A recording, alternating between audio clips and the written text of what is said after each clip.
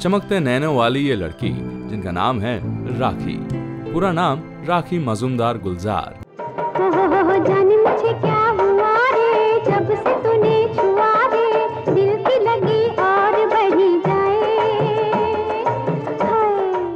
राखी जी का जन्म 15 अगस्त सन 1947 में हुआ। पश्चिम बंगाल के नादिया डिस्ट्रिक्ट के राणा घाट इलाके में।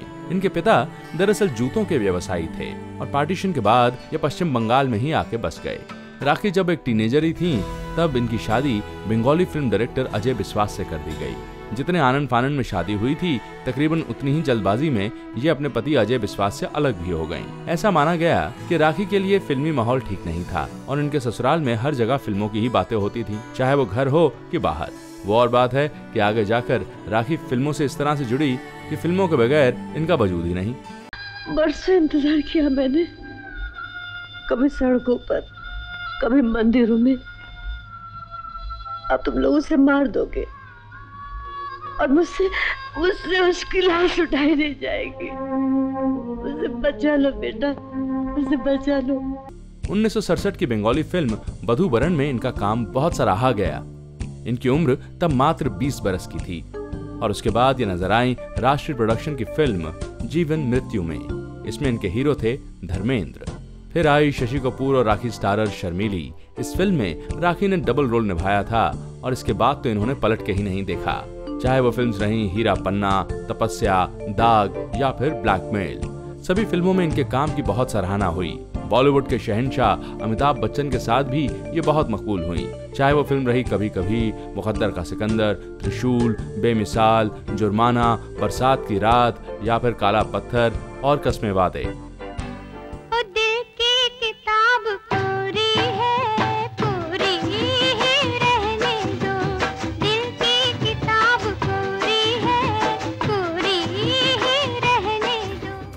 1980 में ये अमिताभ बच्चन की भाभी का किरदार निभाती नज़र आई थी फ़िल्म शान में। और 1982 में ये बिग बी की मम्मी बनी थी फ़िल्म का नाम था शक्ति।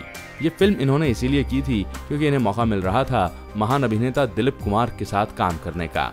माँ जी ये मेरा सौभाग्य नहीं कि मैं आपकी और सेवा कर सकूँ। मुझे क्षमा कीजिएगा मैं आपको छोड़कर जा रही हूँ। हाँ माँ जी। हालाँकि राखी और अमिताभ बच्चन ने एक साथ काम किया था फ़िल्म रेशमा और शेरा में भी। राखी जी ने जब फ़िल्म कभी कभी साइन की थी, तब बड़ा हंगामा भी हुआ था। लग रहा था कि शायद ये फ़िल्म नहीं कर पाएँगी, क्योंकि इनकी शादी हो चुकी थी। पर फ़िल्म के लोगों ने समझाया, बुझाया और ये मान गईं। अपनी पहली शादी टूटने के बाद राखी ने मन लगा लिया था फ़िल्मों में ही। और इसी बीच इनके जीवन में आया एक शायर, जो सिर्फ़ गीत ही नहीं लिखता था, बल्कि फ़िल्में बनाता था। डायलॉग्स भी लिखता था और कहानियाँ भी लिखता था। और उस शायर ने राखी जी के लिए भी बहुत से शेर लिखे जिन्हें पढ़कर ये अक्सर हंसा करती थी और खुश हो जाया करती थी। डैडी क्या बात है बेटे? डैडी कौन? ना मैंने भी लड़का देख लिया। तुमने? हाँ। मैं समझ गया वो लड़का कौन है। और इसी ने इनका दिल ऐसा जीता कि ये बन गए जीवन साथी। जी हाँ हम बात कर रहे हैं गुलजार साहब की। इस शादी से इन्हें एक बेटी हुई। बेटी का नाम रखा मेघना। पर बेटी के जन्म के बाद ही इन दोनों ने अलग होने का फैसला कर लिया। मीना इस वक्त तुम आपे में नहीं हो। चलो मेरे साथ चलो। नहीं हरगिज नहीं। मुझे इस दरवाजे पे मरना मंजूर है। लेकिन आपके साथ जाना मंजूर नहीं। अपने पति से अलग हो ये मुंबई में एक बंगलो में रहने लगी जिसका नाम रहा मुक्तांगन। उसके बाद उसे बेचकर ये एक अपार्टमेंट में शिफ्ट हो गई। और उसके बाद पता चला कि ये मुंबई के नजदीकी इलाके पनवेल में बस गई हैं।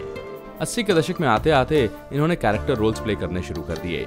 चाहे वो रही फ़िल्म राम लखन या फिर शाहरुख खान स्टारर बाजीगर उन्नीस सौ तिरानवे की फ़िल्म खलनायक में इनके काम को बहुत सराहा गया और उन्नीस में आई करण अर्जुन को कौन भूल सकता है? फिर तो फ़िल्मों की लाइन लग गई। चाहे वो बॉर्डर रही कि सोल्जर या फिर रही बादशाह।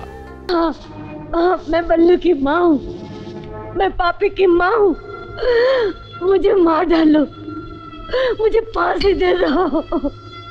मुझे फांसी दे दो। मुझे मार डालो। इन्होंने सिल्वर स्क्रीन पर हमेशा कमाल करके दिखाया। ये भी कहने में अतिशोक्ति नहीं होगी कि उस जमाने में राखी जैसी खूबसूरत अभिनेत्री कोई भी नहीं थी। यकीनन, भारतीय सिनेमा के इतिहास में राखी जी का नाम हमेशा गर्व से लिया जाएगा।